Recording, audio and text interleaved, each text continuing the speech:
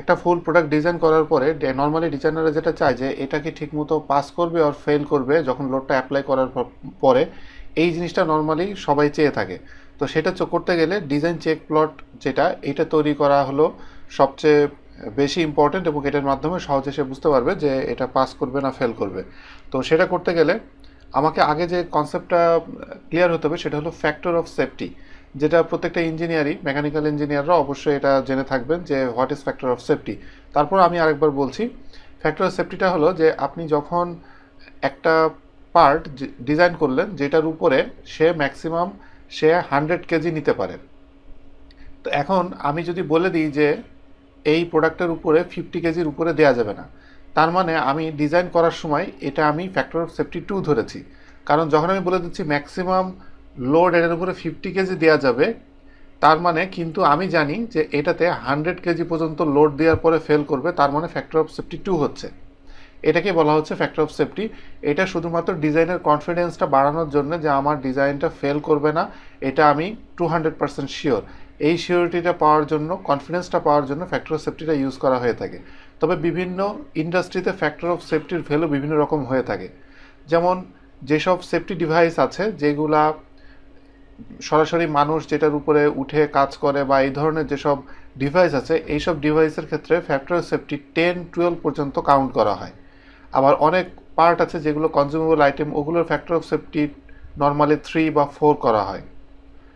এরপরে air aerospace industry যেটা aerospace ইন্ডাস্ট্রিতে normally factor of safety one point two ধরা হয়।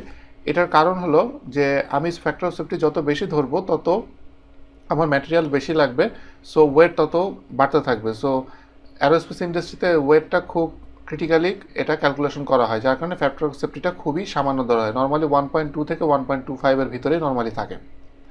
তো এটা হলো ফ্যাক্টর অফ সেফটির মেন থিম তো এখন আমি এই ডিজাইনে আমি আপনাদেরকে দেখাবো যে আপনি ফ্যাক্টর অফ সেফটির মাধ্যমে আমি কীভাবে বুঝব আমার ডিজাইনের কোন জায়গাটা ফেল করবে বা কোন জায়গাটা পাস পাস করে যাবে। তো সেইটা আমি করতে গেলে আমাকে ফ্যাক্টর অফ সেফটি প্লট এখানে তৈরি করতে হবে। এখন আমি এখানে ফ্যাক্টর অফ সেফটি এটা আমি প্লটটা তৈরি করতে গেলে রেজাল্টের উপর রাইট বাটন ক্লিক করে define factor of safety plot এটা আমাকে সিলেক্ট করতে হবে। তো এটা সিলেক্ট করার পরে কিছু অপশন এখানে এসেছে। তো প্রথমে যেটা দেখা যাচ্ছে অল বা সিলেক্টেড বডি এখানে আমি যদি মাল্টি বডি থাকে, তাহলে আমাকে সেক্ষেত্রে কোন কোন বডি আমি এখানে ফ্যাক্টর অফ সেফটি কাউন্ট করব, সেটা সিলেক্ট করতে হবে। যেহেতু এখানে একটাই বডি আছে, সেহেতু এখানে অল এটাই হলো অ্যাপ্রোপ্রিয়েট এরপর নেক্সট যে অপশনটা আছে, এটা আসছে হলো অটোমেটিক নর্মালি বাই ডিফল্টে এটা অটোমেটিক থাকে। তো এখানে আরও কিছু অপশন আছে। এটা আসলে কি জিনিস? এটা হলো ফেইলোর ক্রাইটেরিয়া বিভিন্ন ধরনের ফেইলোর ক্রাইটেরিয়া এখানে টেস্ট করার জন্য আমি কি ধরনের ক্রাইটেরিয়া এখানে ইউজ করব? নর্মালি আপনি যেহেতু নতুন অলওয়েজ অবশ্যই এটা অটোমেটিক দিয়ে রাখবেন। কিন্তু যখন আপনার এক্সপিরিয়েন্স আস্তে আস্তে বাড়তে থাকবে, তখন আপনি এটা ম্যানুয়ালি সেট করবেন। ম্যানুয়ালি আপনি কীভাবে সেট করবেন? ম্যানুয়ালি সেট সেট করার সিস্টেম হলো যে, আসলে কোন ম্যাটেরিয়াল ইউজ করছি, সেই ম্যাটেরিয়ালের প্রপার্টি আমাকে জানতে হবে, জেনে ওইটার উপর বেস করে আমাকে এখানে সিলেক্ট করতে হবে। যেমন এখানে প্রথম যে দুইটা ফেইলোর ক্রাইটেরিয়া আছে, এই দুটা হলো ভন মেজাজ স্ট্রেস এবং ট্রেস্কো থিওরি এই দুটা থিওরির দিয়ে আপনি এই ফেইলোর ক্রাইটেরিয়া আপনি টেস্ট করতে পারবেন। এবং এই দুইটা, প্রথম যে দুইটা ক্রাইটেরিয়া এই দুটার মাধ্যমে আপনি ডাকটাইল ম্যাটেরিয়াল যেগুলো, সেইগুলো আপনি টেস্ট করতে পারবেন। যেমন স্টিল তো এইখানে দুইটার ভিতরে কোনটা বেশি মানে কোনটা ভালো? কোনটা ভালো বলতে ট্রেস্কো থিওরি যেটা, এটা ওভার ইঞ্জিনিয়ারিং করা হয়ে যায়। যদি আপনি অনেক বেশি কনফিডেন্স চান সেই ক্ষেত্রে আপনি ট্রেস্কো থিওরি আপনি ইউজ করতে পারেন। এটা হলো ডাকটাইল ম্যাটেরিয়ালের জন্য। তিন নম্বরে যে, তিন নম্বর যেটা দেখতে পাচ্ছেন মোর কলম্বাস স্ট্রেস এই মোর কলম স্ট্রেসের মাধ্যমে আপনি ব্রিটেল ম্যাটেরিয়াল যেগুলো, সেইগুলো আপনি এখানে ফেইলট আপনি চেক করতে পারবেন। তো আসলে এরপর আরেকটা যেটা আছে ম্যাক্স নর্মাল স্ট্রেস যেটা আছে, এইটা এবং এইটা দুইটা দিয়েই আপনি ব্রিটেল ম্যাটেরিয়াল আপনি চেক করতে পারবেন। তো এখন কোনটা মানে বেশি ভালো বা কোনটা বেশি খারাপ বা কোনটার ভিতরে মেন চেঞ্জটা কি? মেন চেঞ্জ হলো মোর কলম স্ট্রেস যেটা, এটা হলো টেনসাইল যে প্রপার্টিস এবং কম্প্রেশন যে প্রপার্টিস দুইটার যদি ডিফারেন্ট হয়, সেই ক্ষেত্রে আপনি এই মোর কলম যে স্ট্রেস এই ফেলিওর ক্রাইটেরিয়াটা আপনি ইউজ করবেন। কিন্তু যদি দুইটার ভিতরে কোনো পার্থক্য না থেকে থাকে বা দুইটার ভিতরে আপনার কোনো পার্থক্য দেখার দরকার নাই, সেই ক্ষেত্রে ওই ধরনের ম্যাটেরিয়ালের ক্ষেত্রে আপনি ম্যাক্স নর্মাল স্ট্রেস যেটা, সেটা আপনি ইউজ করবেন। তো নর্মালি এখানে যে চার ধরনের দেখতে পাচ্ছেন, এটা আপনার যে ম্যাটেরিয়াল ম্যাটেরিয়ালের প্রপার্টিস জেনে আপনাকে অবশ্যই এগুলো সিলেক্ট করতে হবে। আর আপনি যেহেতু নতুন, সেহেতু অবশ্যই অটোমেটিক ইউজ করা বেটার অটোমেটিক ইউজ করলে কি হবে? আপনি যখন এটার যে ম্যাটেরিয়ালটা অ্যাসাইন করেছেন, সেই ম্যাটেরিয়াল থেকে সে ওই ভ্যালুকে সে ভ্যালুগুলোকে সে নিয়ে নেয়। নিয়ে সে এই ইয়ের জন্য পার্টের জন্য যেটা একেবারে পারফেক্ট সেইটাকে সেই ফেলো ক্রাইটেরিয়া সে এখান থেকে চুজ করে। যেমন আমি এখানে ভন মিজের সিস্টেম যেটা সেটা আমি সিলেক্ট করলাম। করার পরে আমি নেক্সট নেক্সটটা দেওয়ার পরে এইখানে, এখানে আপনি যদি চান আপনি চেঞ্জ করে দিতে পারেন, আমি এটাকে মেগা প্যাক্সকেলে দিলাম। দেওয়ার পরে স্ট্রেস লিমিট যেটা স্ট্রেস লিমিটের ক্ষেত্রে ব্যাপার যেটা যে ইল স্ট্রেন্থ যেটা, এটা ডাকটাইল ম্যাটেরিয়ালের ক্ষেত্রে ইল স্ট্রেন্থটা থাকবে। কিন্তু যদি আপনি ব্রিটেল ম্যাটেরিয়াল হয়, সেক্ষেত্রে আপনাকে আলটি আলটিমেট স্ট্রেংথই হবে একমাত্র অপশন যেহেতু ডাকটাইল ম্যাটেরিয়াল ডাকটাইল ম্যাটেরিয়ালের ক্ষেত্রে আমি আপনাদেরকে বলেছি যে এখানে প্রথম যে দুইটা ফেলো ক্রাইটেরিয়া এই দুটো যদি হয়, তাহলে সেই ক্ষেত্রে ডাকটাইল এবং তিন আর চার নম্বর যে ফেলো ক্রাইটেরিয়া এটার জন্য ব্রিটেল ম্যাটেরিয়াল তার মানে আমি ইল স্ট্রেংথ ইউজ করব প্রথম দুইটার জন্য।